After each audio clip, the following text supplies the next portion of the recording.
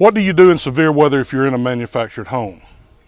It is essential that everyone, regardless of the type of home that you live in, has an emergency plan for severe weather. Make sure you know what kind of weather your home can withstand. And when in doubt, go to a FEMA approved safe room. And don't assume a site built house or other brick and mortar structure is any safer than manufactured homes in severe weather. Sheltering in a FEMA approved safe room is the only way to ensure your complete safety when you're in the direct path of a tornado.